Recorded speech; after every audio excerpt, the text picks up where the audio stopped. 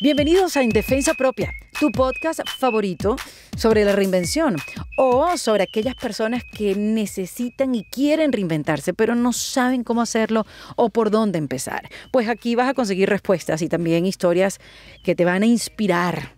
Y por ejemplo, la de hoy, les digo que para mí es un placer conversar con mi invitada porque es una mujer inteligente, es seria, es brillante, es profunda y además hermosa, por supuesto. Mónica Fonseca es conocida no solamente en su país Colombia, sino también en Latinoamérica y en el mercado hispano de los Estados Unidos gracias a su larga y exitosa carrera tanto en la radio como en las principales cadenas de televisión.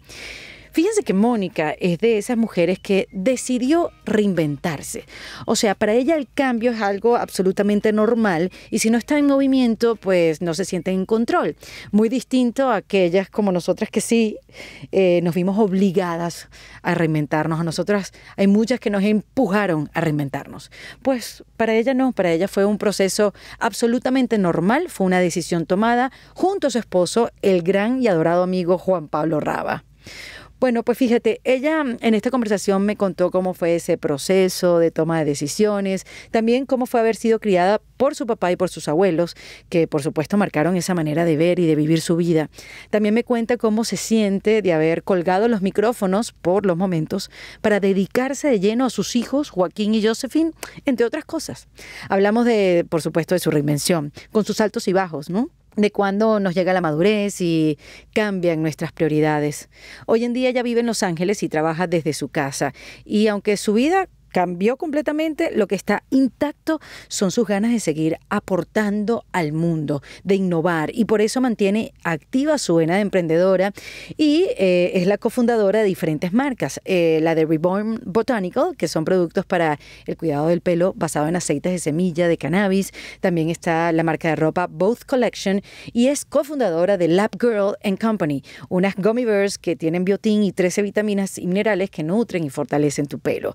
Como ven, no se queda quieta porque además conduce Mon 24/7 para el canal Discovery, un espacio para compartir sus dudas y aprendizajes de la crianza de sus hijos. Mónica, les digo, es un mujerón. A mí me encanta sentarme con ella a reflexionar, a conversar sobre nuestras vidas, sobre la aceptación y la lucha, porque al final todas lo hacemos en defensa propia. Recuerden que eh, se pueden suscribir en mi newsletter, en mi página web ericadelavega.com. Ahí ponen su email y todas las semanas les va a llegar un correo con tips, con cosas que comentamos en las diferentes conversaciones del podcast, también de aprendizajes, de cosas que no podemos dejar de ver para estar actualizadas. Así que ya lo saben, en ericadelavega.com, ahí se mm, suscriben a mi newsletter. Y si estás escuchando este podcast hoy, día viernes. El sábado 7 y el domingo 8 voy a estar presentándome en Nueva York y en Boston con mi stand-up Tú no sabes quién soy yo. Y el 13 de diciembre en la ciudad de Miami, en el Colony Theater. Y los tickets los consigues en ericadelavega.com. Ahí está todo. Bueno, pues ahora sí, les dejo a Mónica Fonseca en defensa propia. Seré pendeja. Así empieza nuestra conversación. Mónica diciéndose, seré, pendeja. Porque Mónica llega y ve la cámara y dice, ah, pero, esto es con video. Yo, Mónica. yo dije, bueno, pues tienen eso para tomar una foto al final y promocionar el asunto, pero yo te oigo porque son podcasts, entonces yo te oigo, pero claro, pues hay que tener cámara también. Es que a la gente le gusta eh, ver el podcast. Jesús Cristo. Jesús Cristo y José. Exacto. Pero, no van a criticar, por favor. No van a decir que porque tan despelucada, que porque me vine así. O sea, me iba a venir en tenis, pero me puse una bota. Pero mira qué elegante. Muy elegante. Exacto. Pero está muy bien, Mónica. Además que tú siempre has sido una mujer espectacular y siempre te has mostrado como es. Pues. Aunque vienes con el pelo mojado. Ahora dejamos ver mi melena mojada y alborotada. Gracias por la invitación, ¿qué importa? Lo más rico es que estar aquí contigo. Es vernos y poder conectar, porque llevamos mucho tiempo sin saber, o sea, sabemos a distancia, pero de hablarnos, de eh, porque compartimos mucho en Miami cuando coincidimos, ¿no? Yo apenas llegaba y tú ya tenías un tiempo viviendo allá. Em, y tenías el asunto como dominado. Pero nuestra relación comienza por un hombre. Por un hombre. Sí, como que digamos la verdad. Decir que nuestra relación comienza porque nos vimos y amor a primera vista. Había un amor más importante, que era Juan Pablo, exacto, Juan Pablo Raba, que te ama y te adora. Y, se muere por ti, siempre me habló divino de ti, así que también estoy sentada por eso, porque hay un compromiso. exactamente, porque lo, yo digo que las creencias se, son hereditarias, exactamente, y, y, realmente es así, con las amigas de, mis, con las esposas de mis amigos y así sucesivamente. Absolutamente. Y Juan Pablo imagínate, estuvo años viviendo en Venezuela y fuimos muy, muy, muy, muy amigos. Lo que pasa es que no importa si él es de Colombia, nosotros de Venezuela, todos los amigos nos separamos. Sí, es cierto. A ustedes les ha tocado. Esta diáspora venezolana que está por el mundo regada es, es un privilegio muy grande para el mundo tenerlos en todas partes, pero es una tragedia muy grande también, ¿no? El que se han tenido que de repente separar y coger sus caminos y empezar de cero casi, porque la gente no se imagina eso, que al venezolano le tocó empezar de cero, ¿no? Es como que no fue si quiso, no fue si e, quiso irse, sino lo que te toca. le tocó irse. Sí, completamente. Pero mm, yo creo que el tiempo a la larga, Mónica, y quiero pensar porque quiero tener esperanzas y, quiero que sea así.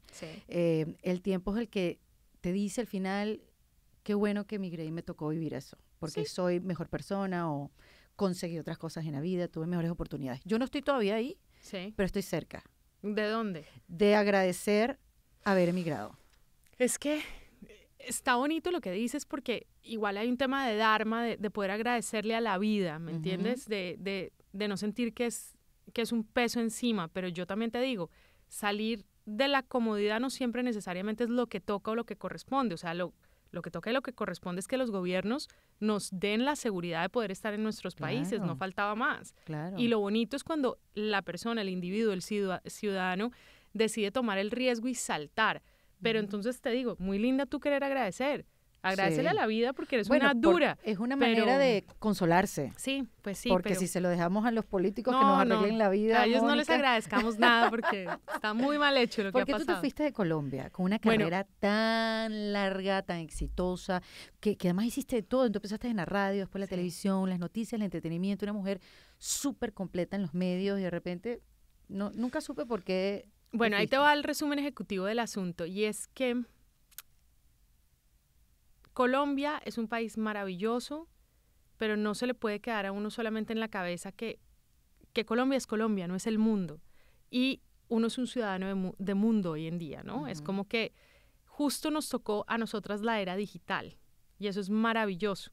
porque la era como del remolino del cambio. Eh, tenemos un pasaporte distinto hoy en día, ¿me entiendes? Es como que a nosotras nos llegó para los medios de comunicación un impacto muy grande, que es desacomodarnos de lo tradicional y poder ser nativos o pues migrar a lo digital. Entonces, cuando yo de hecho viajaba ya mucho estando en Colombia. Tú nunca, eh, a ver, por lo que yo percibo, tú nunca eh, te sentiste como cómoda, tú siempre estabas como una búsqueda.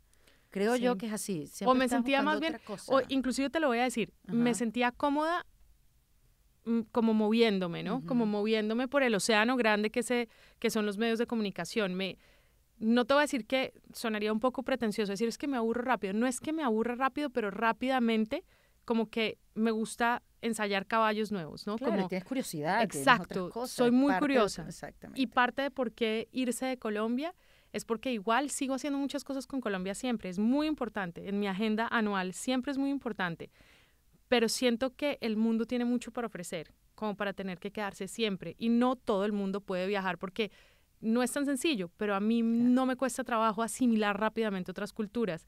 Entonces, como que también me he ido encontrando con personajes en mi vida, inclusive Juan Pablo, que ha vivido en muchos lugares y que como yo cambiaba de casa fácilmente. Claro. Entonces, como que nos encontramos dos personajes que no tuvimos miedo a decir, nos vamos. Tú con tu papá viajabas mucho. Mucho todo el tiempo y me cambiaba de casa mucho. ¿Y porque él, él, es mi Papá es varias cosas. Ajá. A ver, saquemos el, la hoja de vida de 80 páginas. Eh, él, empieza siendo ingeniero civil, estudia en Estados Unidos, que es donde nazco. Mi madre muere cuando yo tengo tres añitos, entonces nos, nos devolvemos el último tiempo a Colombia eh, de, su, de su irse ya, de, de, de morirse porque ella quería estar acompañada de la familia, pero mi papá me agarra a mí para acompañarlo a todas partes. Entonces yo empiezo a viajar con él por todo el mundo. eh, en las vacaciones, hay veces en el colegio me dan permiso y siempre estaba como viajando. Vivía con mis abuelos la mayor parte del tiempo y con él. Después mi padre se casa, eh, igual hubo muchas separaciones, entonces muchos cambios de casa de la misma persona, que hoy en día es mi madrastra con quien me llevo muy bien, Ah, pero yo bueno. siempre estaba cambiando y viajando y moviéndome. Yo siempre digo que era como el miquito de mi papá que iba con él, un changuito. Pero eso te determinó entonces, Sí, porque claro. fíjate que eso también tuvo impacto ya de grande, buscando otras cosas y moverte dentro de tu mismo, eh, en tu misma área de trabajo. Tú sabes que eh, em, hace poco escuché un experto en lo que es esto de cómo impacta la crianza eh, de, de- que te dieron a ti en tu vida y, y que puedes desarrollar después de ese impacto que cuando tú me dices que tuviste con tus abuelos, este experto, que ahorita se me escapa el nombre, después te lo digo, después te lo mando, dice que los abuelos son necesarios para la vida de los niños porque los abuelos no tienen estrés, los abuelos no están apurados, los abuelos tienen paciencia Claro. y están ahí para enseñarte y que uno necesariamente necesita tener abuelos en la vida. Pues totalmente, yo considero que los mejores maestros son los abuelos, es la experiencia, es que yo crecí con gente grande, yo fui muy madura hasta hace un tiempo, ya me volví madura, pero yo fui muy madura hasta, mira, yo era una niña de cinco años que me podía sentar a una mesa con adultos y tener conversaciones, pero no de niña genio, sino simplemente conversaciones agradables y podía estar horas oyéndolos porque me crié con mis abuelos. Entonces la experiencia fue muy distinta. Claro. Y sí, están más tranquilos, están en otra etapa de la vida, tienen otros problemas, como cuando a uno le parece, pues uno se sonríe cuando un niño eh, tiene un problema bobito, porque uno le llama bobito, para el niño no lo es, pero se le rompió un juguetico, se le perdió algo y uno se sonríe y dice, si no- eh, si supieras lo que te viene. Pero yo creo que los abuelos Sí. también hoy en día se ríen cuando lo ven a uno y dicen, si supieras, chica, que vas a llegar a los 80 y de golpe esto no va a ser tan importante. A mí ¿no? me sorprende que a mí nadie me haya dicho nada De que de cómo un- se pone la cosa cuando uno es adulto. no te han dicho y mis abuelos sí. Mis No, abuelos sí me lo, me lo dicen mucho. Me dicen, mira, se sonríen mucho cuando, cuando me ven por ahí en problema o a mil por hora o lo que sea, pero también me dicen, la vejez es un abrigo pesado y por eso hay que prepararse muy bien, porque una vez empieza a llegar la vejez hay que, hay que poder física y emocionalmente soportar lo que viene, ¿no? La vejez Claro. es muy bonita por un lado, pero es muy fuerte también, ¿no? Entonces como que hay que, hay que prepararse para ello. Me Te lo acaba de dije- entrar un te lo digo susto. yo. Gracias, Mónica. O Te sea, lo mi- digo yo mis abuelos mis nunca me lo 86. dijeron. Ahora vienes tú y me lo dices, me cacheteas de esta manera. Sí, es duro y la verdad que es bueno saberlo ya. Sí, sí. Es bueno saberlo ya y ya uno lo siente, ya uno de verdad se cuida con otra conciencia y uno uno ya empezó a cambiar. Yo De creo que ya la madurez nos llegó. De acuerdo, de Sí, acuerdo. en mi caso, yo creo para que bien, además, la Sí, madurez sí, le llega sí. a uno para bien y le tiene que llegar en el momento en que uno esté preparado también para asumirla. ¿Para cuándo te llegó a ti? A mí me llegó como a los 22. Sí. A mí la madurez me llegó. Yo he sido alma vieja desde muy chiquita, la verdad. Mm, Creo que, pues, esa, esa pausa siempre he sido, a pesar de que he cambiado trabajos y curiosa por aquí, por allá, que he estudiado una cosa, la otra cosa, siempre ha habido como la, el futuro en mi cabeza siempre ha estado, ¿no? El- el- la vejez en mi cabeza siempre ha estado, pero como algo bueno, como un acompañamiento, como una, como una pausa y una tranquilidad de no me tengo que comer el mundo. Yo nunca me he tenido que comer el mundo, ni tengo afán. Lo que he hecho hasta ahora ha estado bien en sus tiempos, en sus momentos.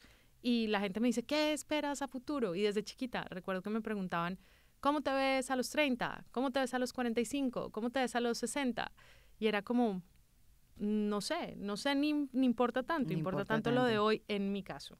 Pero qué bueno eso, es es una como- manera de vivir un poco más tranquila. Pues sí, yo creo que he vivido más tranquila, no, Sí. no estoy como pensando. Tú sabes que hace mañana. poco estoy enfiebradísima. Hace Sí. poco fui a un seminario de Tony Robbins. ¿Has- Ok, has ido? claro, ¿Has ido? claro. Nunca he ido a los seminarios, pero me parece Qué él locura, alucinante. Una locura. Es una locura. impresionante. Rockstar.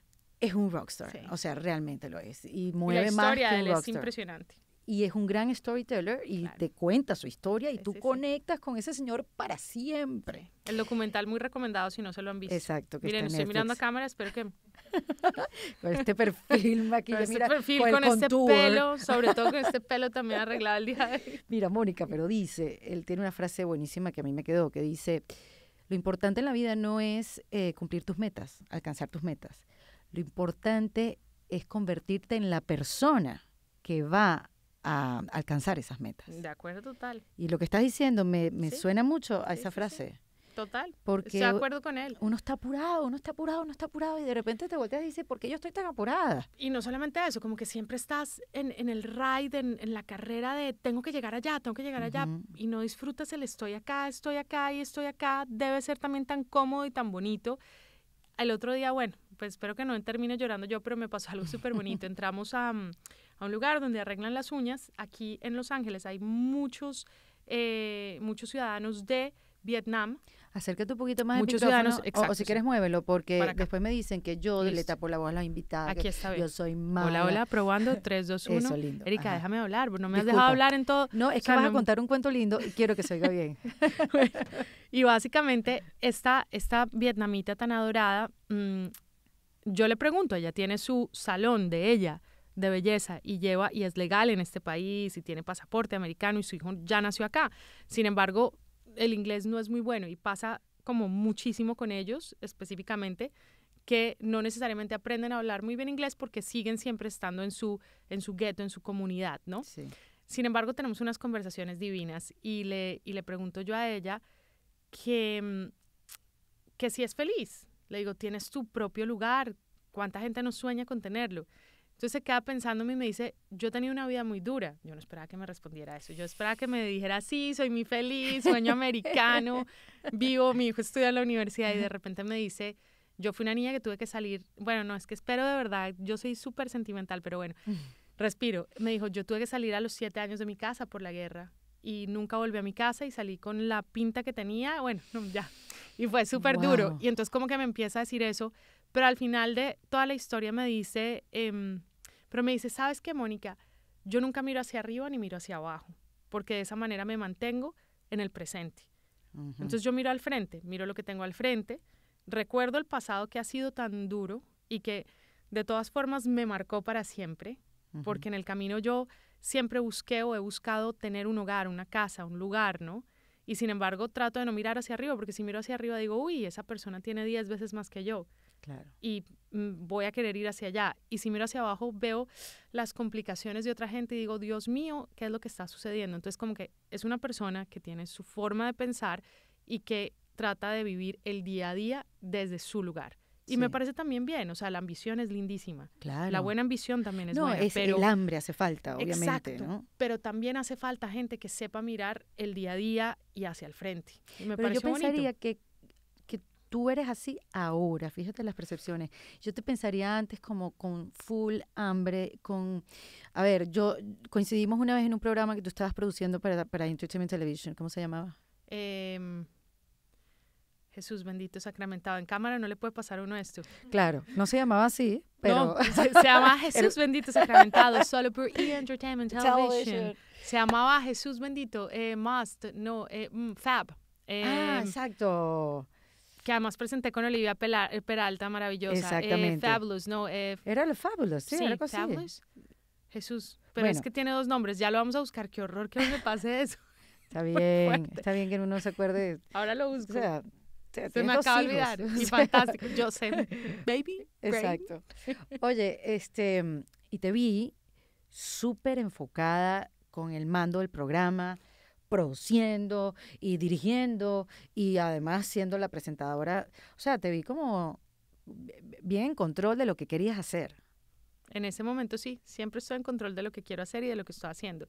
Pero asimismo se me olvida el nombre del programa al día siguiente cuando no lo estoy haciendo. A lo que voy es que cada cosa que recibo en, las, en mis manos o cada encargo para mí tiene prioridad absoluta.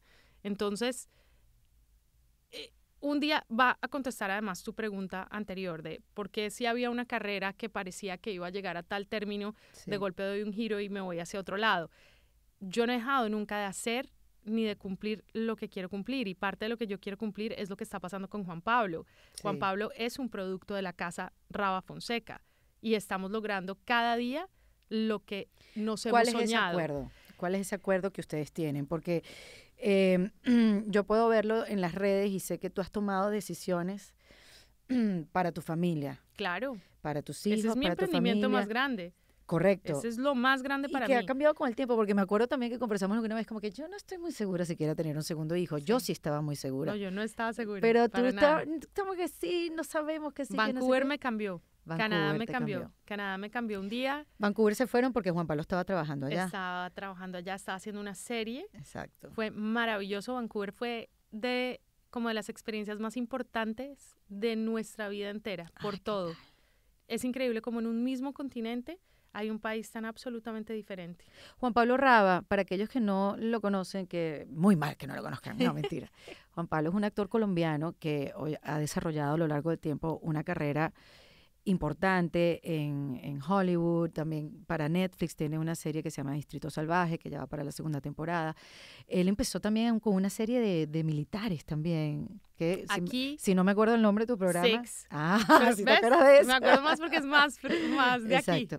Lo cierto es que eh, Juan Pablo ha ido dando pasos importantes en, en su carrera en el mundo anglosajón, porque ya digamos que en el mundo latino ya, ya tenía como que a Dios agarrado por la chiva. O sea, había... Está, está dentro de ese grupo de, de, latinos que pueden darse el lujo de escoger proyectos y eso es muy bonito. Exactamente. Porque además es un gran actor y es un productor y puede hacer muchas cosas, pero no quiere decir que lo haya hecho todo en Latinoamérica, que también es importante. Simplemente que teníamos que explorar con él como muchas otras cosas importantes Juan Pablo se crió en un colegio americano, después se va para España y termina en España, pero Juan Pablo, su cabecita, funciona mucho más en inglés que en español y la gente no sabe eso. Que tiene un inglés perfecto, no pareciera. Nativo. exacto, no pareciera para nada. Y su cultura, si lo ves, y cuando uno ya está con él acá en Los Ángeles, entiende que él comprende mucho más, inclusive la política. El sistema. Y el sistema de acá que inclusive gente de acá que no le interesa mucho. O sea, él entiende el chiste, la cosa, la cultura del entretenimiento, se ha visto todas las películas, sabe quiénes son todos los directores, los actores que, que uno ni se acuerda ya. Él está muy conectado, mucho más conectado con el mundo anglo y tiene que ver con su crianza también. Claro, claro. Y con también su familia argentina, que era una familia que sigue siendo una familia muy allegada a él y que tiene mucho que ver con, con lo que pasaba acá en entretenimiento y con lo que pasaba un poco en Europa. Entonces él tiene su cabecita funcionándole de una manera diferente. Claro. Em, y tocaba venir a cumplirle, digamos que también a ese, a ese sueño o a esas ganas que él tenía de poder desarrollarse como actor en su segundo idioma, que yo diría que así no lo crea la gente, su primero. Es, que para, él es más fácil muchas veces, inclusive. Es impresionante. A él le tocó aprender, nadie sabe esto, pero cuando él llega de España, por supuesto con castellano magnífico, él habla también catalán, pero llega a Colombia, él hablaba como español, con acento español, a él le toca llegar, exacto. Entonces, él, a ti, exacto. Y a él le toca empezar a hablar eh, en colombiano para que le salgan las cosas al principio, ¿no? Entonces, como que a él le tocó reaprender Latinoamérica y, y, lo hizo muy bien y le fascina y le encanta y ama Venezuela, que hay que decirlo, para él Venezuela no es el lugar a donde él fue alguna vez y ya, es su casa. Sí, seguro. Y de hecho en Colombia, creían que era venezolano por muchos años. Qué risa. Porque él, su carrera y su boom lo tiene en Venezuela. Bella. Exacto. Como Orestes Villanueva. o sea, ¿ves? Me acuerdo de eso, güey. Tu memoria selectiva es una cosa, Mónica. Pues que no... Fabulous. Fabulous. Fabulous. Ya, yeah, por E! Entertainment Television, con mi adorada Olivia, además, que hace poco fue madre. Pero más allá de, de hablar de, de la carrera Juan Pablo, que todos estamos alucinados y súper contentos por lo bien que le ha ido. Y no porque le va bien, porque le va bien, sino porque se ha preparado y le ha echado un camión y es talentoso, etcétera. Habíamos quedado en cuál fue esa decisión de familia que ustedes tomaron. La decisión ha sido seguir los pasos y los proyectos que nos apasionen, sin importar si son de él o míos. Cuando ha habido mis proyectos, que hemos tenido que viajar a Argentina tres veces a grabar proyectos míos con canales allá, cuando ha tocado estar en Miami, porque para mí era más cómodo estar en Miami, hacer mis cápsulas para Univisión de tecnología eh, y entertainment y otras cosas que hacíamos. Pues estábamos ahí por esa razón. Eres colaboradora de mi programa de radio. De acuerdo. Y nosotros además no estábamos en Miami por Juan Pablo. Es así. Porque Juan Pablo tuvo muy claro que él donde quería estar era en Los Ángeles para poder hacer, y ya no es hoy en día hacer Hollywood, sino es hacer, digamos, las producciones desde acá. Son, son diferentes. Claro la envergadura de, de, Los Ángeles es diferentísima. Y creo que también parte de si, eh, si quieres trabajar en un lugar, tienes que estar ahí. Sí, tocaba. Él viajaba cada rato acá. Entonces, la decisión fue como, bueno, un momento, tenemos un hijo. Cuando tuvimos el hijo, cuando, digamos, Juanpa y yo empezamos a salir, él me dijo, yo voy a tener hijos. Y yo, no, yo no tener hijos, para. Me dijo, no, no, sí vamos a tener un hijo. ¿Y, ¿Y por qué tú no querías? En mi vida no estaba como muy presupuestado eso. Tal Mm. vez también un poco por mi crianza, por, porque ser. estaba por aquí y por allá. Yo decía como, hijos no es una prioridad, mi carrera es una prioridad. Y no mi carrera exactamente que me lleve a esto, sino por donde voy estoy libre. Cuando uno no tiene hijos tiene una libertad diferente. Eso es Es otra importante decirlo, exacto, es otra vida.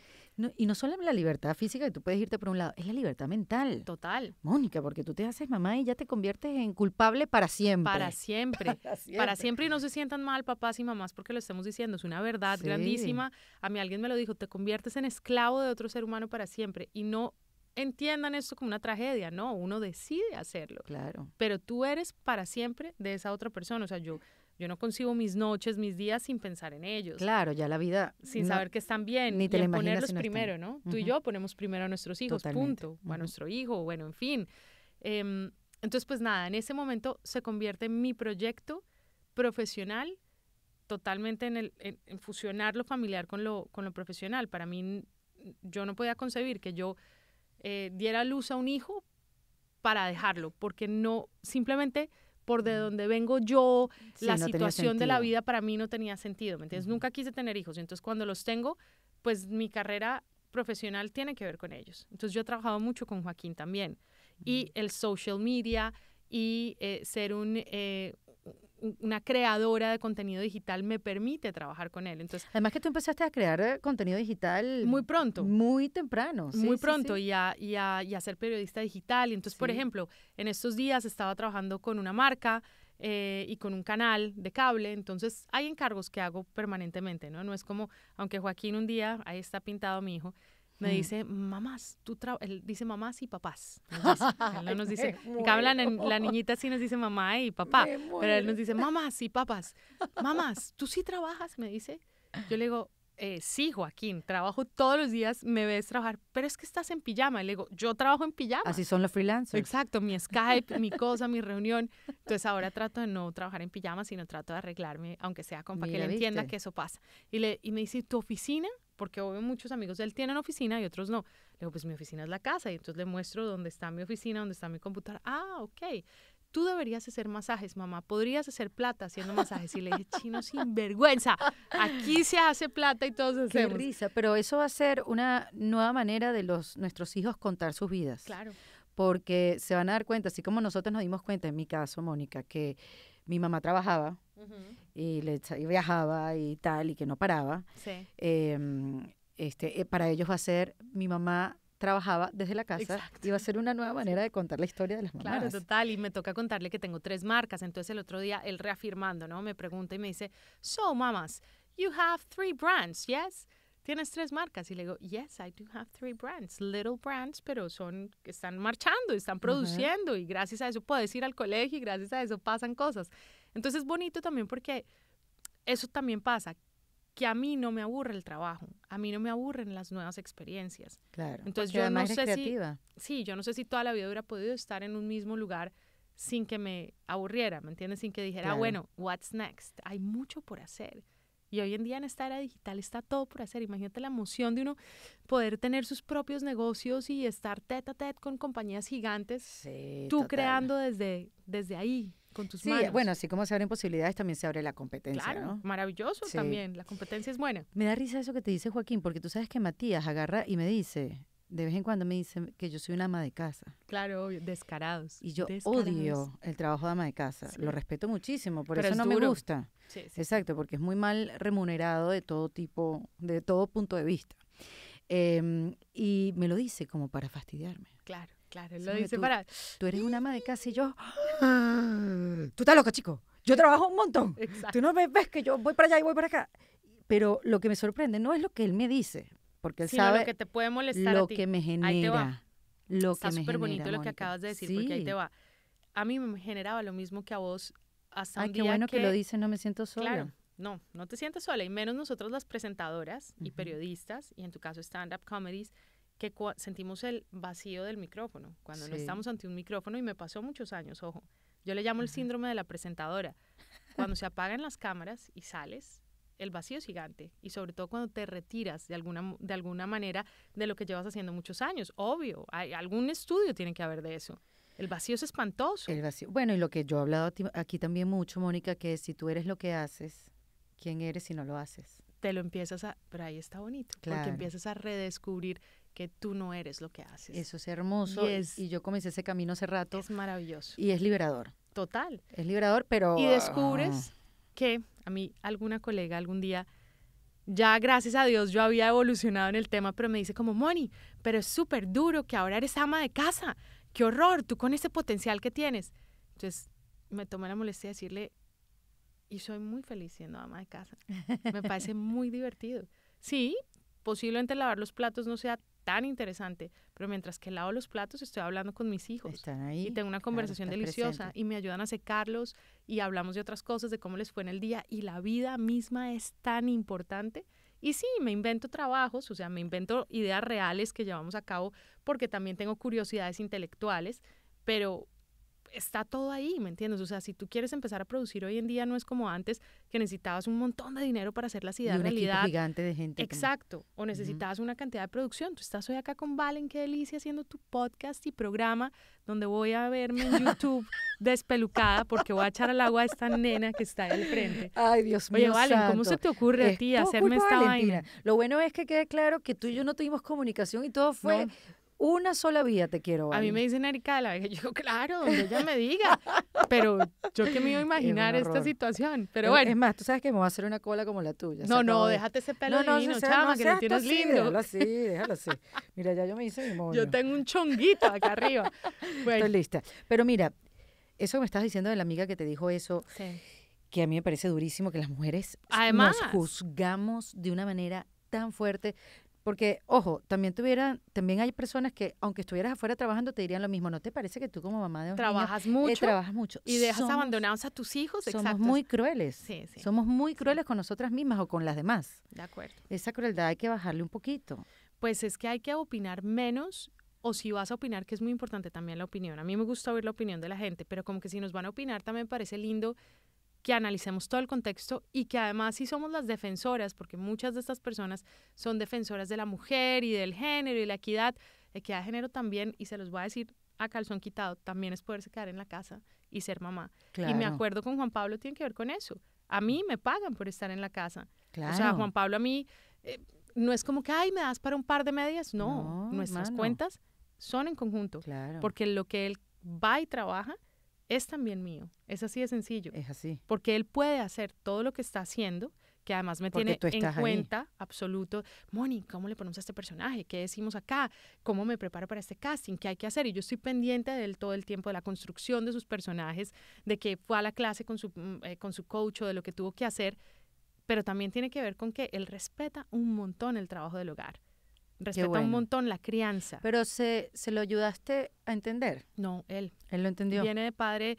Hay, que, Mm. hay que aplaudir y creo que es más, Lo que más aplaudirlo, sí. loable que el resto de Latinoamérica. Los argentinos tienen un tema de ser muy buenos padres, de ser padres que cocinan. ¿En y serio? sí. ¿Y por qué será que en Argentina no sé si es algo cultural, si es un poco más que vienen, que tienen esa mezcolanza con Europa en donde realmente el hombre y la mujer trabajan a la par, no en todas partes. Ahora Igual, me eh, o sea- que en Italia, que no sé dónde. Pero Claro. caramba, si les digo la verdad, yo los padres argentinos que conozco, por lo menos de la generación de Juan Pablo, y el papá de Juan Pablo era así, y los tíos son así.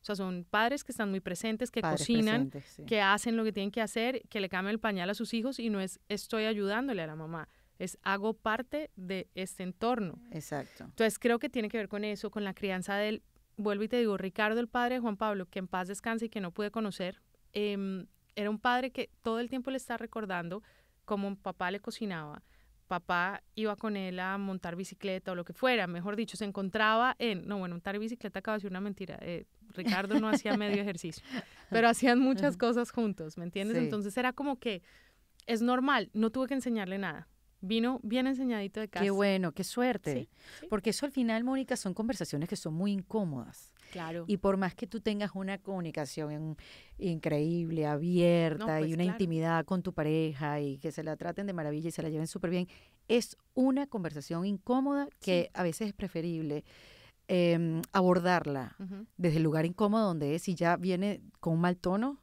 que abordarla desde un lugar, vamos a sentarnos, Sí, vamos sí, a sí, hablar de tranquilo, sino que más bien la conversación viene como una reacción a algo, más Sí. que vamos a solucionar un problema antes de que se presente.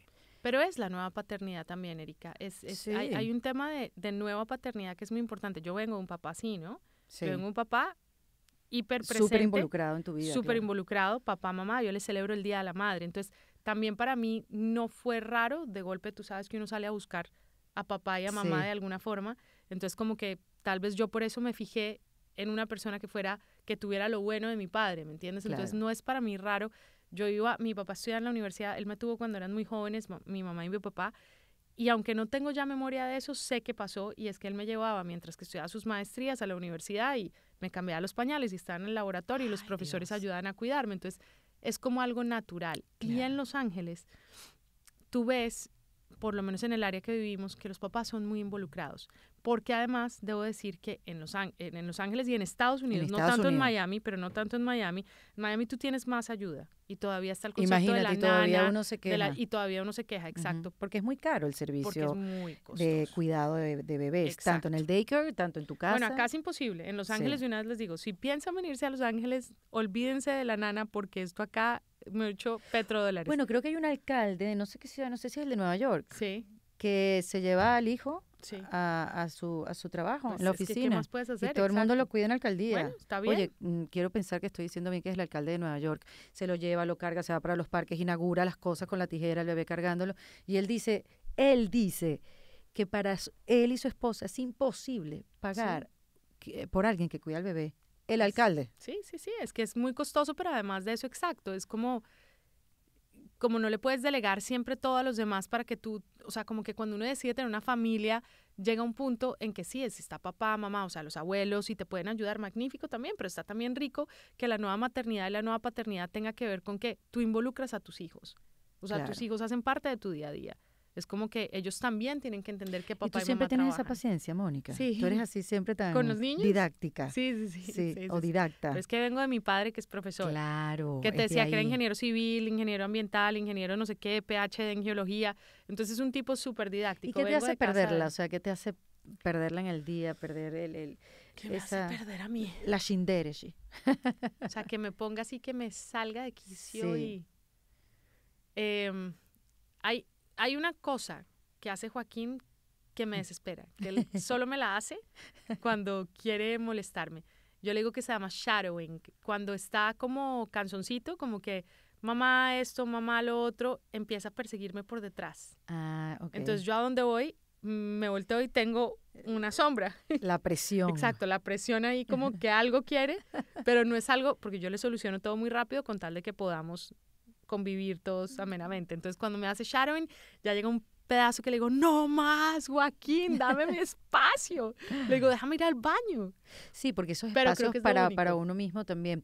Yo te he visto, porque lo compartes en las redes además, te he visto en tus mudanzas, por ejemplo, de Canadá a California, que llegaron a una casa, que habían alquilado un Airbnb, no, tenía aire acondicionado, tú con la con la bebé recién nacida, pero pero con humor. Sí, Muy calmada. Nos reímos mucho, nos reímos mucho, si no, no podríamos estar juntos. Claro. Juan Pablo se ríe mucho, Juan Pablo es alegre de la mañana a la tarde. Puede ser cuando tiene un, una rabieta, le, o sea, puede ser como, ah, le da rabieta, pero respira profundo y también se le pasa y yo soy así. Pero a ti la maternidad te ha desarrollado la paciencia. Claro, yo soy más paciente hoy en día. Eres más paciente. Sí, sí, sí, sí, sí. antes, antes era un poquito más volátil. Hoy en día, para que sea volátil, tiene que ser que estoy muy cansada y sin embargo, pienso diez veces antes de volverme volátil porque yo no soy de gritar realmente. Cuando yo estoy muy, muy brava y te lo pueden decir como colegas o personas que han trabajado conmigo, quienes me quieren y quiero muchísimo, hablo muy suave y muy despacio. Qué miedo. es muy miedoso. es como, ok, nadie entendió, entonces sí. les voy a hacer entender qué es lo que está pasando. Y la gente tiene susto. Mire, ¿qué tal la experiencia de, de la bebé? Divina. ¿Cómo se llama? Se llama Josephine Joy, pero le decimos pues también en español Josefina Alegría. Entonces ella conoce sus nombres y Jojo. Jojo ah, es como, como el nickname de ella. Entonces ya le decimos ah. que cómo se llama Jojo. ¿Y qué tal la experiencia de ser mamá de una, niña? Es una locura. O sea, yo me lo iba a perder y, y un día le dije a Juan Pablo, tenemos dos días para que quede embarazada. Si no quedo, seguimos planificando, seguimos con nuestras vueltas. Y no sé, la vida nos premió ah, en esos dos días, no sabemos cuál de los dos días, pero, pero fue una, un, algo una que te calentura. un mensaje, fue así, como que dije, es la última oportunidad porque me parece que también ya estamos creciendo y tampoco papás de y no tiene nada que los papás sean de 55, pero no queríamos llegar más allá y dije como ya Joaquín tiene esta edad. Sí, estabas en el límite. Aquí, pues, hagámosle acá, Joaquín ya tiene seis años, no queremos que sea más grande. Si quedo embarazada, de verdad, si estamos pensando en que voy a quedar embarazada y quedo embarazada, pues fantástico. Y quedamos embarazados.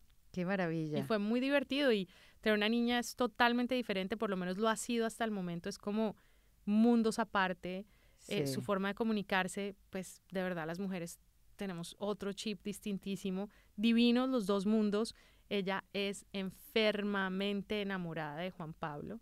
Puede tenerlo acá, papá, papá, y Juan Pablo le dice, yo, yo, estoy acá. Lo mira con amor y se derrite por él. Ay, qué Joaquín es a mamá, obviamente. Joaquín es mucho más mamá. Obvio. Entonces ha sido muy divertido. La verdad a mí me gusta. Vivo muy tranquila. Eso es otra cosa que, que sí te digo. Sí, creo que la edad no, pero, pero, pero sí me, me, dijiste y le pasamos por encima de ese vacío de micrófono, el síndrome de la presentadora. Sí, sí, sí. que Lo trabajé mucho, no creas. Exacto, vamos a hablar de eso porque uno pensaría como que, bueno, le, le fue fácil. No. Y qué bueno que nos puedas decir, no, Fue doloroso, fue súper doloroso porque a pesar de que ha sido una decisión mía, el cambiar, el irme, hubo oportunidades en Miami de engancharme y trabajar con canales, en cosas que me llamaban mucho la atención. Y, y la decisión, por un lado, Juan Pablo es la hora que me dice, ¿quieres volver? ¿Quieres presentar noticias? ¿Quieres darle a eso? ¿Quieres ser periodista? ¿Quieres volver a...? Y le digo, no, le digo, mírame, por favor, una copa de vino. Le digo así. No sé si quiero, la verdad. y de verdad se lo digo de corazón. O sea, como que yo me disfruto un montón la despertada temprano. Como digo, yo arrear a Joaquín para que se levante rápido, hacer las tareas con él. El otro día también voy a echar un chiste, no quiere decir que se vuelvan alcohólicas, por favor, mamás. Pero estábamos haciendo tareas con Joaquín y entonces me pone un amigo, ah, creo que posteé, ¿no? Entonces puse que estaba yo repitiendo segundo de primaria y entonces un amigo me dice que qué bueno que está estudiando con Joaquín. Y le digo, sí, pero mira, el estudio es distinto, el estudio es distinto, es distinto. Le pongo, ya está un segundo año. No, pero vamos a decir a las mamás que sí, que beban. De vez en cuando sí. Que beban, porque... un eh, vino es bueno de vez en cuando. Por lo menos una vez a la semana está perfecto una copa de vino, porque además dicen las francesas que las conserva mucho más Eso es verdad. regias. Así que... Bueno, nosotros estábamos, nos estamos quedando en un hotel que llegó un doctor, el, barman le dice, eh, good morning, doctor. El doctor, ¿y qué quieres tomar? Yeah, a cup of wine, a glass of wine. Y yo, 12 y 11. Y yo, mira, chica, el doctor pide su vino a las 12 y 11. Yo creo que nosotros podríamos practicarlo también. Exacto. Bueno, básicamente, básicamente hay mucho, pero también hay el tiempo, Erika, por fin de hacer ejercicio. Como que yo mm. antes le sacaba, a ver, cuando uno está más chiquito, cuando uno está en sus 20, está toteado la risa porque si no hace ejercicio no pasa nada. Dejaba de comer y ya. No pasa nada, exacto. Pero ya han dado los 30, y más hacia el camino, hacia los 40, llega un momento en que uno tiene que empezarse a preparar precisamente para lo que viene, ¿cierto? Y encontrar también mis espacios. Vancouver me dio eso.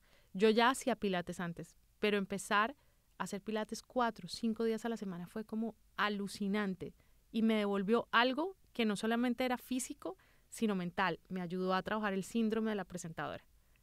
Claro. Fue como empezar a recuperarme a mí y empezar a encontrar que si no estaba frente a un micrófono no pasaba nada que si no estaba informada de las noticias todo el tiempo, ah, bueno, eso fue lo primero que me pasó, ¿no? Cuando salgo de noticias y salgo de mi programa Ciencia, Salud y Tecnología, que era diario. Además que tú, o sea, estabas on top de la tecnología, siempre Estaba ahí, ¿me entiendes? Entrevistando gente, lo uno, invitada a todas partes.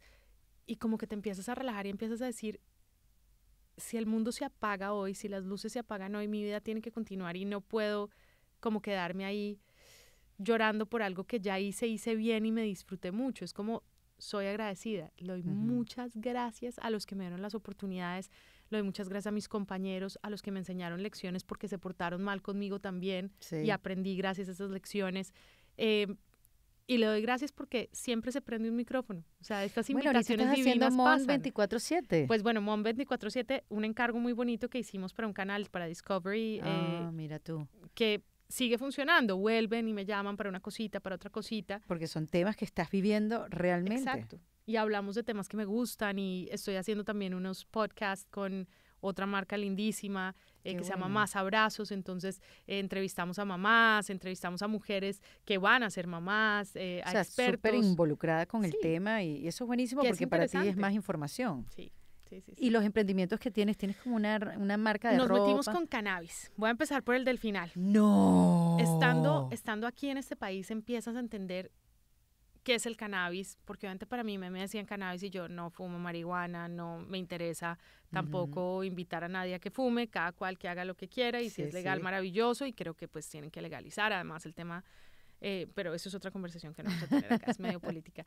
Pero bueno, el caso es que empecé a estudiar porque me ofrecieron ser la imagen de un producto de cannabis. Y dije, mm, no, este producto no me gusta mucho. Y les dije, ¿por qué no más bien somos socios y creamos, así sea, cinco producticos para nosotros, derivados de sus fórmulas, y me enseñan más? Y aprendo de dónde es que sale esto. Entonces empiezo a entender esta planta sagrada y maravillosa, que de verdad es maravillosa, que ha ayudado a que los científicos descubran más de nuestros metabolismos y mejoren además la calidad de vida de los seres humanos. La gente no sabe eso, sí. pero el cannabis es una locura. Claro, y, tiene mucho tabú y mucho Claro, psicoactivo. La gente piensa y habla del psicoactivo, del THC todo el tiempo, entonces piensan, no, es que es para fumar, no sé qué, pero de repente sirve además para mejorar la calidad de vida de pacientes con cáncer, con Parkinson, con lo uno, con lo otro. Y entiendes que dejas el tema psicoactivo de un lado y que hay una planta maravillosa, esa y muchas otras plantas que han sido vetadas porque tienen temas psicoactivos, pero si tú los separas, pueden hacerte mucho bien. Entonces hicimos unos shampoos, un agua micelar, unos jabones muy bonitos. Eh, ¿Y dónde se venden? En Reborn Botanical, en eh, nuestro, básicamente en nuestra web. Vendemos por ahí. Todavía no estamos en tiendas, nos ofrecieron un deal muy bonito, recién salidos, y dije, no, vamos a ser locales y vamos a seguir siendo locales porque yo necesito mejorar mi fórmula hasta el punto tal que seamos lo más green posible y tenemos otros elementos ahí está, naturales. Ahí está la Mónica, metiéndose hasta adentro en el Exacto, proyecto. Es como que... Pero eso es lo admirable tuyo, Mónica, porque no sabes el tema, no sabes el tema, pero... Pero vamos a estudiarlo. Pero vamos a estudiarlo y me voy a meter hasta adentro y me voy a hacer científica. Sí, sí, sí, sí. Además, yo amo la ciencia. Y por otra parte, me asocié con una científica en Colombia y una chica colombiana que vive en Miami que se llama Isabela y la colombiana es Valentina, que es científica, científica, ingeniera química, que desarrollaron unos gummy bears muy lindos que les traje hoy, ahorita les, doy para el pelo con biotina. Eh, cannabis también sirve para el recrecimiento de pelo más todos los otros ingredientes. ¿Hay algo para las canas? Eh, ¿Para qué? Para que te crezcan divinas. No, chica. Para taparlas toca pintura. Para eliminarlas. No me la he inventado todavía. Las canas son buenas. Pintemos. Las no, yo las pinto, pero ya a la semana me la tengo que volver a pintar. Soy una persona muy mayor. no, hay gente que le salen las canas a los 20, así que no digas eso, a los 15, así que no, no te preocupes, pero podríamos estar desarrollando de golpe un dry shampoo con color para que, para que no te... Que no te deje el pelo tieso, más, porque eso, esos tapacanas te dejan... Bueno, voy a desarrollarlo para que tenga colorcito y te lo puedas echar cuando estén Me mandas un sampler. Sí, claro, lo voy a hacer. Y el otro negocio es muy bonito, que es de unas hermanas que ya existían en Colombia, que venden en todo el mundo, igual que Nuestras vitaminas se llaman The Lab Girl y The Lab Girl, la compañía está en Miami, tiene una causa muy bonita detrás y es que a una de mis socias la abusaron sexualmente. Entonces damos un porcentaje a RAIN, que es la organización más grande de Estados Unidos que trabaja contra el abuso, contra eh, la violación, el incesto. Entonces como que hay un mensaje siempre detrás. Y Both Collection, eh, que quiere decir dos, es básicamente una colección de ropa en donde compramos telas muy lindas, mandamos a hacer telas, las hacemos print en procesos muy bonitos y como muy cuidados y son prendas que sirvan para mujeres embarazadas y cuando ya no estamos embarazadas. Entonces, como que es sí, que estás en ese in-between, que no quieres comprar ropa porque todavía te falta. Son prendas que están slow fashion, sacamos muy pocas para que tú las puedas comprar y permanezcan en el tiempo y bueno, la gente está muy contenta vendemos en distintos lugares, hacemos trunk shows, entonces ha sido como lindo, me he metido en moda que siempre me ha fascinado, en ciencia que siempre me ha gustado, en el Tú has aprovechado la oportunidad que te da el punto geográfico donde estás también. Total, total. eso, es muy importante. Y eso hay que, sí, eso hay que hacerlo, porque algunos a veces nos quedamos pegados en una nostalgia, ¿no? En un no sé de eso ni me voy a meter. Y yo creo que cuando uno se mueve geográficamente hay que buscar la oportunidad que te ofrece el lugar. A donde fueres, haz lo que vieres. Así mismo. Eso dice mi abuela Mima. Mima se llama. Sí, Melba se llama, pero le digo Mima, Mima. vive en Boca Ratón. Imagínate. Y sí. Mira, Mónica, y si yo te preguntara, ¿qué es lo que quieres hacer? O sea, si tú, digamos, ¿Qué es lo que quiero hacer cuando sea grande? Sí. ¿Qué es lo que quieres hacer cuando seas grande? ¿Qué es lo que quiero hacer cuando sea grande? Eh, acompañar a mis hijos, seguir acompañándolos. O sea, creo que es un privilegio, es un milagro. La gente no se imagina el milagro que es estar vivo todos los días porque cuando no han perdido un padre o alguien muy cercano, tal vez como que they take it for granted, ¿me entiendes? Como que no, no entienden el privilegio que es todos los días amanecer y poderle dar un beso a su hijo, a su hija, a su padre, a su madre, en fin, a su esposo. Entonces, como que hacia dónde voy, vamos a seguir desarrollando esta familia hacia el buen puerto, ¿me entiendes? Eso es lo que queremos, eh, que mis hijos sean felices. Eh, no te podría decir, quiero ver graduar a mi hijo de tal y queremos ver el mundo hacia donde gira. Pero, eh, tú, tú, Mónica, mujer. Yo sé que es parte de la mujer, ojo, yo sé que eso no se separa una cosa. Pero está perfecto. me la pienso, me la pienso un momentico porque obvio, entiendo, como que no, la respuesta no hacia la familia, sino yo, yo, yo, hacia dónde voy. Sí, pensemos egoístamente, total estamos aquí en defensa propia. En defensa propia voy a decir que, ¿qué quiero yo? Eh, quiero que mis emprendimientos sigan siendo parte de mi camino importante. Em, tengo muchas cosas que seguir descubriendo de mí misma, o sea, como que, por ejemplo, ahorita quería volver otra vez a la academia, hacer una maestría en medio ambiente, quiero volver back to basics, de ahí vengo. Claro, creo que de eso ahí es importante porque tu papá también te inspiró. Exacto, y mis abuelos, uno de mis abuelos. Entonces, como que quiero volver otra vez a, a la academia. Mm, quisiera gastarle más tiempo al diseño y ahí me veo, ahí me veo, perdón, y a elementos como más naturales, como a impactar el medio ambiente de manera que positiva. Tu reinvención, Mónica, es que tú no dejaste nunca de tener herramientas para claro. reinventarte. Y si no las tenías, las buscabas. Sí, sí. Yo creo que eso es un mensaje como súper importante también. Yo lo decía el otro día con Camila Canaval. Sí, sí, sí. Cami, que es maravillosa. Que eran vecinos ustedes, sí, ¿no? total. Camila, yo le decía que cuando nosotros, presentadoras de televisión, emigramos, yo me di cuenta que yo era súper inútil porque no sabía ni siquiera hacer una presentación en PowerPoint. No sabía hacer un Excel, y ella tampoco. Y ella, que, tiene hoy, en día su negocio de las carteras, no sabe un plan de negocio. No sabíamos desarrollar nada de eso porque teníamos a gente que lo hiciera en nuestros países. Y cuando yo me vi de frente con eso, dije, Dios mío, qué horrible la ignorancia, no sé hacer nada, no soy nada valiosa, no tengo herramientas como otras amigas mías que sí tenían otras claro, que se organizaron rápidamente y le mostraron un PowerPoint a uno y uno así como, ¡ah! Exacto. Y, y me sentí como eh, un poco, sí, un poco no, completamente inútil y, sola pues en, esta, en este sentimiento. Camila me, me dice, bueno, sí, yo también. Y, y, por eso yo lo digo también en, los capítulos de, del podcast cuando tengo oportunidad. Hay que tener un hobby más allá de la carrera, porque tú no sabes cuándo la vida te va a hacer vivir del hobby y no de la carrera que te obligaron a estudiar. De acuerdo, total. De acuerdo. Es, es, tan importante. O por eso yo digo, lleven a sus hijos a las clases extra, extra esa mismo. Extracurriculares. gracias. Extracurriculares. Porque de repente es algo que pueden desarrollar en el futuro y eso es lo que le van a dar de comer. Totalmente. Eh, nada, muchas cosas, como verás, he aprendido en, este proceso de reinvención, de migrar, de reencontrarme de la edad, de saber de qué, qué, qué, quiere decir, qué es lo que quiero. Esa pregunta de qué quieres ser tú cuando sea grande es una, eh, yo no sé, yo no me conecto con eso, con esa pregunta muy a menudo, de a dónde quiero llegar, porque todo es como muy abstracto, efímero, sí, sí, no sí, sé qué. claro, uno no sabe, además ustedes... Esa pregunta que tú le hiciste a la, a la, a la señora vietnamita, que si es feliz. Sí, es, ¿Quién muy, le pregunta, muy amplia. Sí, ¿Quién le pregunta eso a nadie? O sea, yo creo que ella estuvo, tuvo que haber estado muy agradecida de golpe. A mí me preguntaba mucho mi papá eso, ¿no? Mm. Aún hoy me pregunta, desde que yo iba creciendo, como que siempre me preguntaba, ¿eres feliz? Y yo a veces decía, no, estoy bravo, y no estoy feliz. y mi hijo me la volvió. Estando en Vancouver un día le dije, ¿tú eres, ¿tú eres un niño feliz? Are you, happy, ¿Are you a happy kid?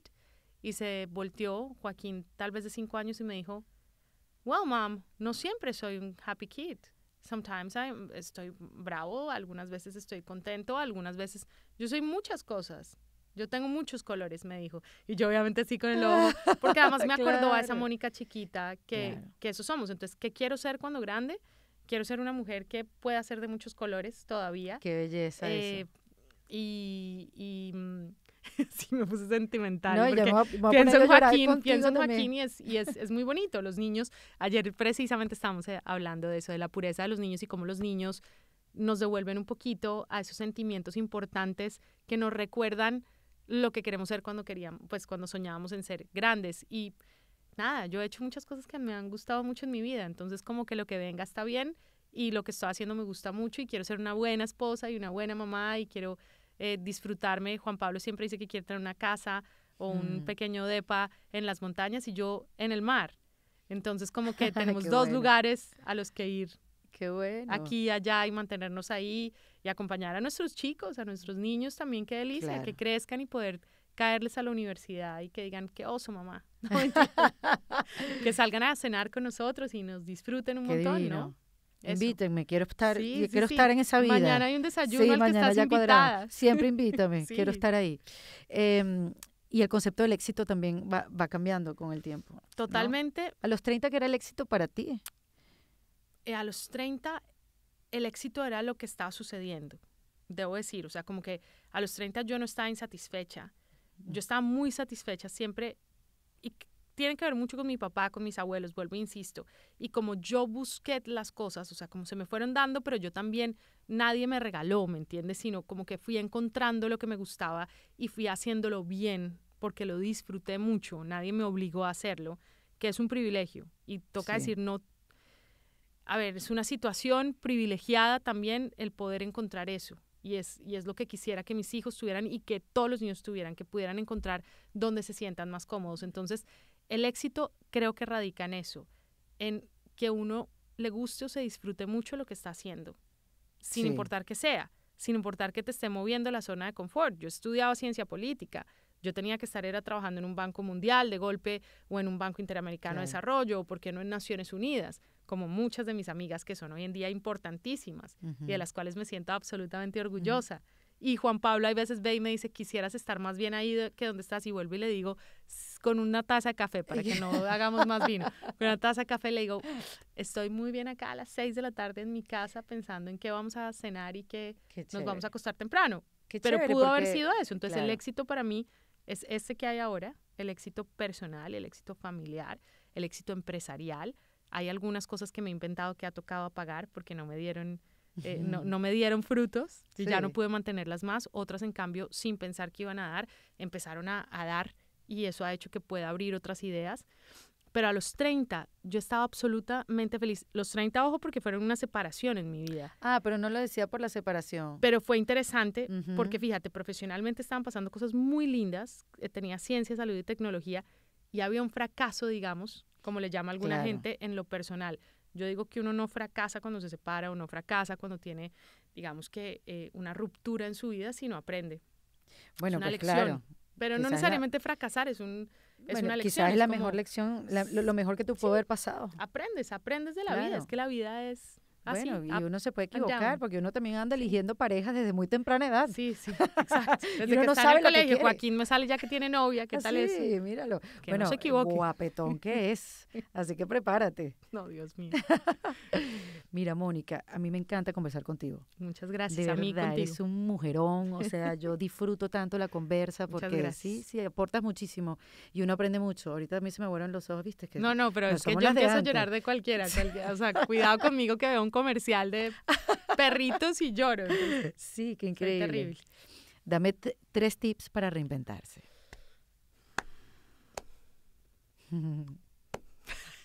No es tan fácil. Tres tips para reinventarse. Volver a las raíces. Lo primero que uno tiene que hacer es cuando se sienta perdido, cuando se sienta confundido, respirar profundo, respirar profundo. Creo que puede ser realmente el primer tip. Varias veces respirar profundo y olvidarse de todo lo demás y entender que en la respiración está todo, básicamente, el centro, el encontrarse nuevamente, volver a las raíces, es decir, ¿de dónde vengo yo? ¿Qué me hizo a mí? ¿Qué es lo que tengo yo que aportar? Y empezar desde ahí, desde lo que yo tengo que aportar a compartir, ¿no? Y no toca compartir en, a mil personas o a dos miles. Desde acá, desde lo que yo sé hacer, desde lo que me gusta, empiezo a construir. Y un tercer tip sería sonreír. Dirán que Mm. sonreír, pero ¿cómo le va a sonreír al mal tiempo? Pues si están teniendo mal tiempo y le sonríen al mal tiempo, ese tiempo empieza a sonreírle a Te- ustedes de vuelta. Te lo, te lo, te lo aplaudo que digas eso porque otra de las cosas que aprendí con Tony Robbins, Sí, no te digo que estoy sí. enfiebrada, es Sí, que uno no, yo- sale ahí, A mí me gusta él mucho. uno sale ahí un poco Emocionado. con el lavado de cerebro y yo te digo Sí. que menos mal me lo lavaron porque estaba lleno de mugre. Ok, Estaba, mu- perfecto. estaba, estaba mugroso, mugroso. Em, él dice que lo, tú tienes que estar como en un estado mental elevado Sí. para tomar decisiones y tal, no sé qué. Te lo digo por la sonrisa, que parece una cosa como tonta, pero es No, tan es importante. Eh, y uno de los principales puntos de llegar a ese estado elevado es moverse. Claro, keep it moving. Es increíble. Y él, y él te dice, yo no soy profesor de Zumba. ¿Tú crees que yo quiero que ustedes estén bailando todo el día? No, pero está eh, clínicamente comprobado que el movimiento, la emoción es creada por movimiento. Entonces, si tú te mueves, si tú te posas como un superhéroe, si tú sacas el pecho, si tú caminas, si tú celebras, si tú brincas y sonríes, esa energía va a traer que tu mente esté en un, en un estado mental positivo. Pues. Y él está totalmente en lo cierto, porque los científicos que estudian el cerebro siempre te lo van a decir, los seres humanos somos movimiento, nosotros venimos del movimiento, nuestro cerebro necesita moverse. Y en el momento en que tú empiezas a mover el cerebro, que realmente activas lo físico y esto, todo empieza a circular, la sangre empieza a moverse, es así de sencillo, luego tus ideas empiezan a aparecer.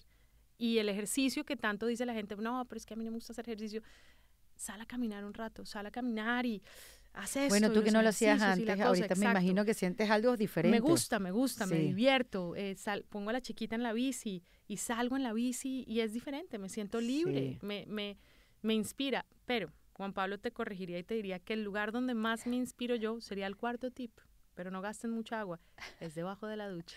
Mis mejores ideas se producen siempre ah, con agua. Entonces, piscina, puede funcionar una piscina, ah, piscina una alberca. puede ser un jacuzzi, una Exacto. A mí el agua me, me, me, produce buenas ideas. Un estado como de calma y que te ayuda a generar creativamente. O un, o un estado inclusive de velocidad, ¿sabes? Yo hay veces bajo presión pero eso son mañas que uno tiene que no le aconsejo a nadie. Pero mis mañas tienen que ver con velocidad a la hora de producir. Yo produzco un poquito mejor. Con presión. Como en noticias. Claro. Bajo presión. Vengo de esa escuela, ¿no? Claro. Del en vivo. Sí. también. Sí, sí, o sea, tú sabes esto, producir, pero acá tienes el tiempo, ¿no? Sí. Pero el en vivo también hace que sea un poquito más, más lúcida. Entonces, sí, es otra energía. Puedo producir en en vivo todavía bastante bien. Tú puedes producir en vivo, grabar de donde sea, Mónica. No me gusta el en vivo, me gusta el en vivo de todas formas. Sí. Un beso gigante. Estoy muy, muy feliz de haberte tenido acá en Defensa a todos ustedes. Cuando sabíamos que veníamos a Los Ángeles, ching. Son muy generosas. Te tratábamos de conectar en Miami. Miren, invitando a una ama de casa. Increíble, les quiero agradecer muchísimo. Celebramos las amas de casa. Esas son las que tienen que estar aquí sentadas. muchas gracias. Obviamente. Muchas gracias, muy lindo. Beso Juan Pablo. Claro que sí. Desayuna mañana con él, si no esto me va a costar. mañana nos vemos, mañana nos vemos. Un beso. Mónica Fonseca en Defensa Propia. Esto fue en Defensa Propia, grabado en los espacios de WeWork, producido por Valentina Carmona y editado por Andrés Morantes, con música original de Para Rayos Estudios. Recuerden suscribirse y recomendar el podcast. Yo soy Erika de la Vega y nos escuchamos en un nuevo episodio. ¡Hasta luego!